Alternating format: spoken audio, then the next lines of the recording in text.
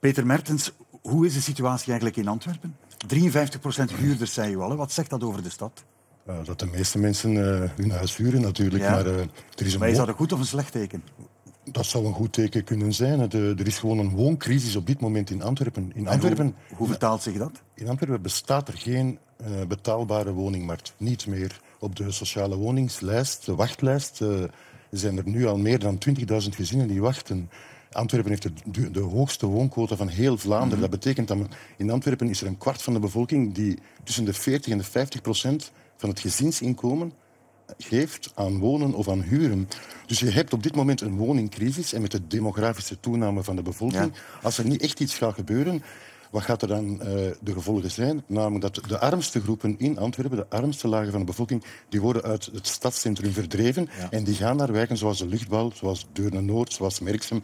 En je krijgt dus eigenlijk uh, een, een bevolkingsvlucht, een stadsvlucht, een stadsvlucht van, van, de laagste inkomens. Laten we eens kijken naar Gent, mevrouw Van den Bos. U hebt net gezegd dat u vier jaar geleden gelukkig een huis hebt kunnen kopen in het centrum. U bent daarmee een gelukzak, denk ik. Niet alleen omdat Gent een hele leuke stad is, maar vooral omdat elk jaar 1600 jonge gezinnen Gent verlaten omdat het te duur is. Ja, absoluut. En uh, Gent als stad doet uh, daar heel veel inspanningen voor om die gezinnen in de stad te houden. Door maar, bijvoorbeeld maar bij... dat is onvoldoende en dat is een probleem voor een stad, denk ik. Maar kijk, 75% van de Vlamingen bezitten een eigen huis. Vergelijking met 40% van de Nederlanders. Conclusie, die 75% van de mensen, wanneer dat ze op pensioen gaan, rond 55 jaar oud, hebben hun huis afbetaald. En dan moeten ze geen huur meer betalen.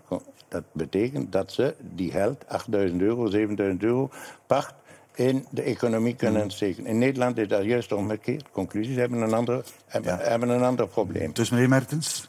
Nee, dus uh, die mensen denken een huis te bezitten. Hè. Dus uh, het huis is, uh, van die meeste mensen is toch altijd van de bank.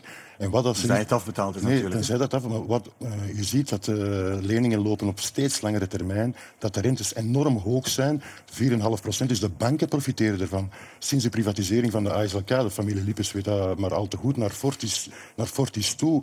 Daarvoor had je de situatie van de ASLK, waarin je zekere leningen tegen 3 procent kreeg en 7 op 10 landgenoten hadden toen een hypothecaire lening bij de ASLK. Met de privatisering is dat allemaal verdwenen. En heel wat mensen, als ze een ongeluk hebben, als ze een scheiding hebben bijvoorbeeld, dan vallen ze in precaire situaties. Hoe komt het eigenlijk dat huren zo moeilijk is bij ons? Uh, huren uh, in, in, ons land, dat is uh, een ongebreidelde Far West-markt waar niet wordt op ingegrepen.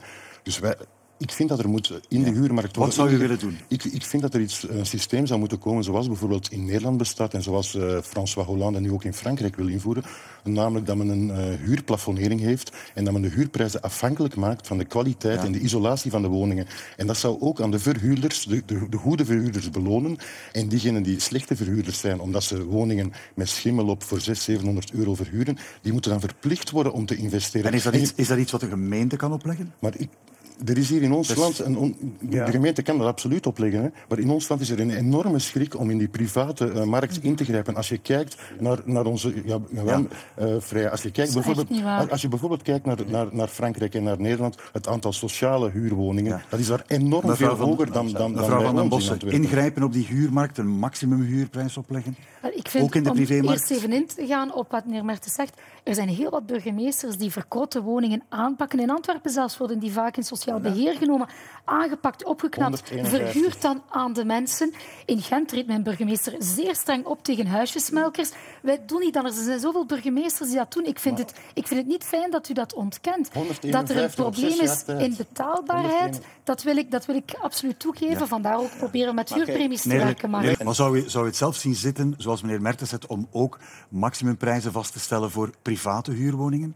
Maar kijk, nee, want uiteindelijk dat is dat is heel, heel moeilijk om, om uh, te zeggen, in die straat, daar, daar, daar en daar, dat heeft geen zin. En uiteindelijk, dat is niet een systeem die volgens mij in een vrije markt zoals de onze... Meneer Mertens, in Antwerpen, is daar ruimte? Ik wil nog even uh, op betaalbaar wonen in Knokken. Uh, 300.000 euro voor alle klaarheid. Voor heel wat mensen is dat absoluut niet betaalbaar wonen. Dat wou ik toch nog even, even meegeven. Over die zaak van de veroudering, daar ben ik het absoluut mee eens. Dat is een belangrijke uitdaging. En dat kan je op twee manieren, denk ik, aanpakken.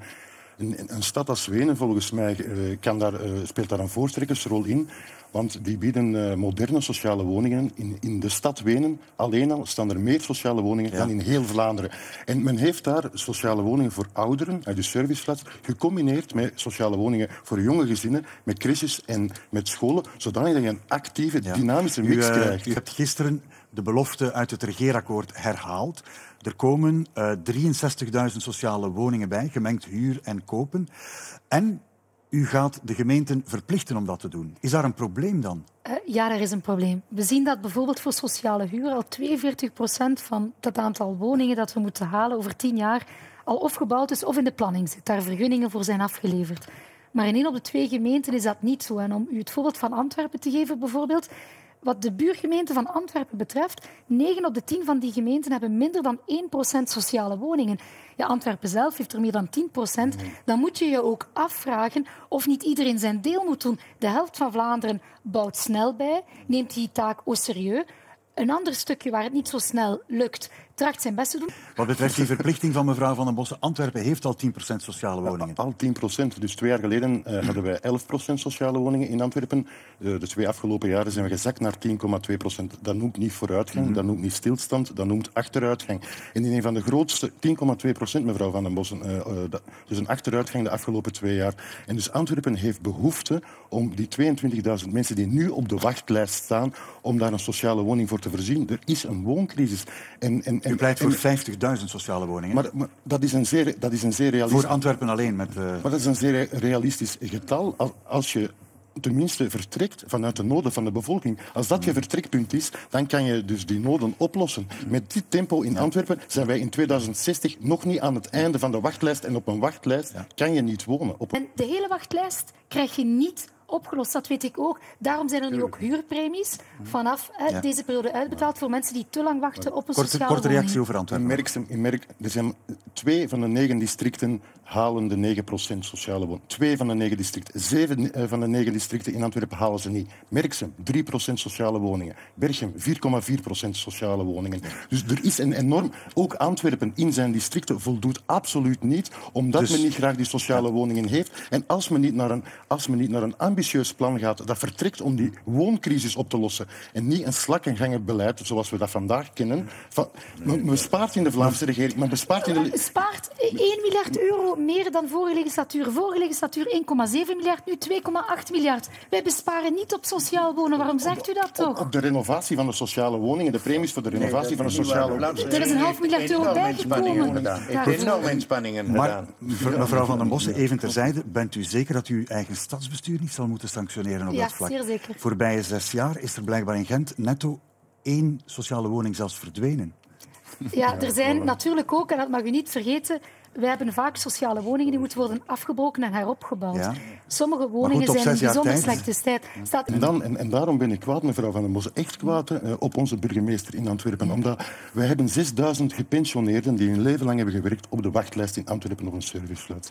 Men heeft het met, het met het zorgbedrijf in Antwerpen heeft men 313 nieuwe sociale uh, serviceflats uh, gebouwd. Na een half jaar uh, van de start van de verkoop zijn er nog altijd 259 niet verhuurd. Waarom? Ze kosten 840 euro met kosten inbegrepen tot 1240. Dus de wachtlijsten zijn vol en de serviceflats blijven leeg, ja. omdat het gegeven is aan, in een PPPS-constructie aan projectontwikkelaars. Ja. En dat is een schande, want ondertussen kan je dan wel pleiten voor de mentaliteitswijziging bij bejaarden, maar als die bejaarden die nu een groter huurhuis hebben, eigenlijk naar een serviceflats willen gaan, maar die serviceflats die zijn onbetaalbaar, omdat het moet renderen voor de projectontwikkelaars. Die serviceflats, daar wil ik u helemaal bijtreden. Ik vind het ook uh, moeilijk voor bejaarden om die te kunnen betalen. Daarom zal vanaf 2013 één op de tien gebouwde sociale woningen zal een sociale serviceflat zijn. Voor mensen met een klein pensioen is een serviceflat op de private markt geen haalbare kaart. Ja. En dus denk ik dat daar een taak ook voor de overheid ligt om die sociaal aan te bieden. En, de, en, en dan zal overheid... u een huurprijs betalen in functie van uw pensioen, van uw inkomen maar op dat deze moment. zijn gebouwd door, de, door het zorgbedrijf aan Antwerpen, dat afhangt van het OCMW Antwerpen, waarvan de manager 200.000 euro per jaar verdient met 30% variabele premie. Er is altijd een groep die geen inkomen heeft of onvoldoende Nee, inkomen om, een comfortabele woning te huren. Als je 1500 euro op de post verdient, alleenstaande moeder, 1500 euro. Ja. Een alleenstaande moeder die Ja. heeft een appartement nodig met twee slaapkamers. Die die huurt in, in Borgerhout voor 700 euro. Bijna 50% van haar gezinsinkomen zonder energie gaat naar eh, eh, de huur. De huur. En dat, dat zijn werkende Ja. mensen. Dat zijn geen hebben een huursubsidie nodig. Nee, maar met die, precies- met, met die huursubsidie gaat die mevrouw niet uit die armoede vallen.